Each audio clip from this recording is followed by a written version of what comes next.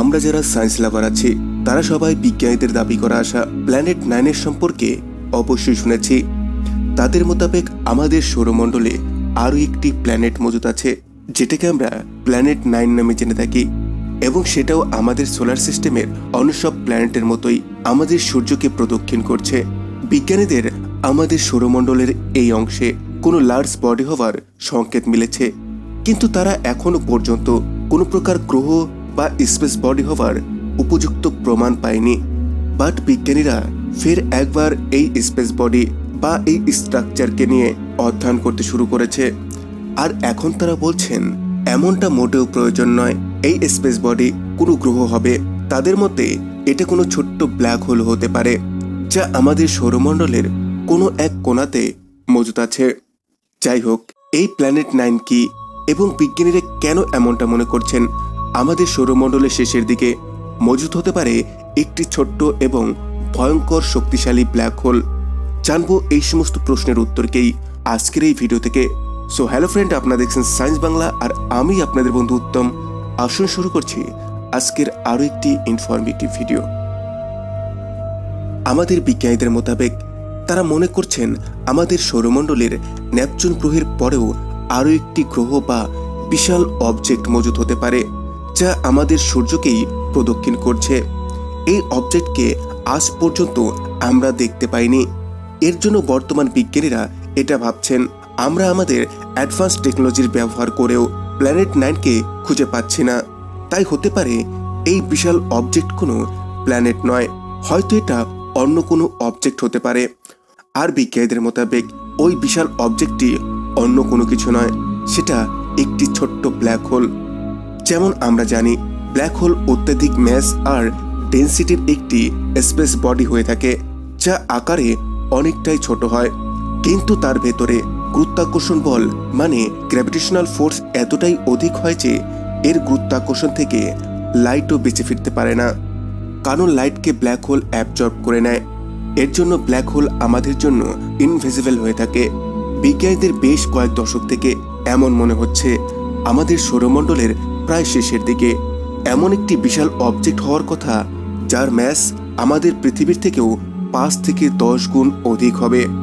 এই স্পেস বডিকে এখনও দেখা যায়নি, কিন্তু ইকোনমিক্যাল ক্যালকুলেশন এটাই ইশারা করছে। বিজ্ঞানীদের মোতাবেক আমাদের সৌরমণ্ডলের বাইরের দিকে অবস্থিত ওট ক্লাউড থেকে কমেটস যেভাবে আমাদের সৌরমণ্ডলের ভেতরে চলে আসে, তার থেকেই এমনটাই মনে হয়। ওইখানে আমাদের পৃথিবীর থেকেও পাঁচ থেকে দশ গুণ অধিক শক্তিশালী কোনো বস্তু অবশ্যই মজুত আছে, যে তার গুরুত্বাকর্ষণ বলের সাহায্যে কমেটসকে তার রাস্তা থেকে মুভ করাচ্ছে। বিজ্ঞানী জন হ্যান্ড্রিক ওর্ট উনিশশো পঞ্চাশে ক্লাউড হবার সম্ভাবনার কথা বলেন। ক্যালকুলেশনের অনুসারে এই মেঘ আমাদের সৌরমণ্ডলের শেষে এক দশমিক ছয় লাইট ইয়ার্সের দূর পর্যন্ত ছড়িয়ে আছে।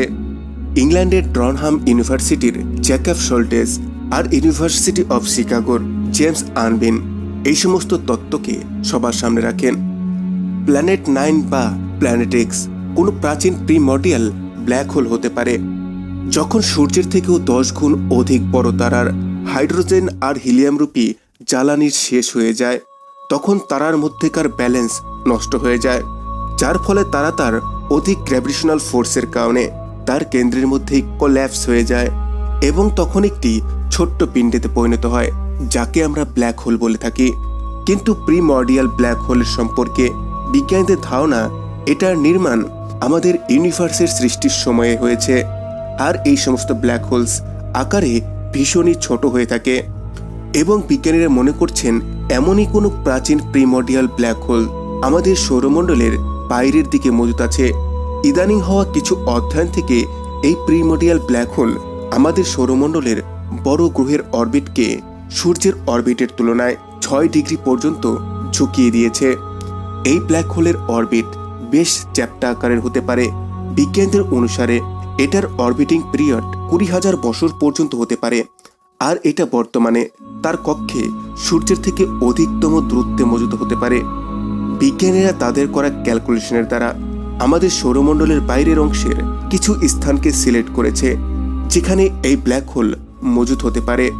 যাই হোক যদি প্ল্যানেট নাইন সত্যি কোনো ব্ল্যাক হোল হয়, তো এটাকে খোঁজা, কোনো গ্রহকে খোঁজার থেকেও বড় একটি অ্যাচিভমেন্ট হবে। কিন্তু এটাকে খুঁজে পাওয়াটাও গ্রহকে খোঁজার থেকেও আরও অধিক বেশি কঠিন হবে। এটা ঠিক ব্ল্যাক হোল তার চারপাশের অংশ থেকে হাই এনার্জি ফোটন ইমিট করে থাকে, যা এক্স রে আর গামারে কিরণের রূপে দেখা যায়, যার দ্বারা বিজ্ঞানীরা এই ইনভেসিবল ব্ল্যাক হোলের খোঁজ করতে পারবে। যদি আমাদের সৌরমণ্ডলে ব্ল্যাক হোলের অবস্থান পরিষ্কার হয়ে যায়, তো তার ফলে আমাদের সৌরমণ্ডলের বর্তমান মডেলের মধ্যে বড় একটি পরিবর্তনের প্রয়োজন হবে। সো বন্ধুরা, আজকের এই ভিডিওটি এই পর্যন্তই। ভিডিওটিকে আপনার ফ্রেন্ডস আর ফ্যামিলির সাথে শেয়ার করুন। সেই সাথে আপনি যদি আমার এই চ্যানেল সায়েন্স বাংলাতে নতুন হয়ে থাকেন, তাহলে সায়েন্টিফিক ভিডিওর সমস্ত লেটেস্ট আপডেট সবার আগে পাওয়ার জন্য চ্যানেলটিকে সাবস্ক্রাইব করে বেল আইকনে ক্লিক করুন। নেক্সট টাইম এরকমই কোনো সায়েন্টিফিক আর থটফুল ভিডিও নিয়ে আপনাদের সামনে হাজির হব। Thanks for watching take care bye bye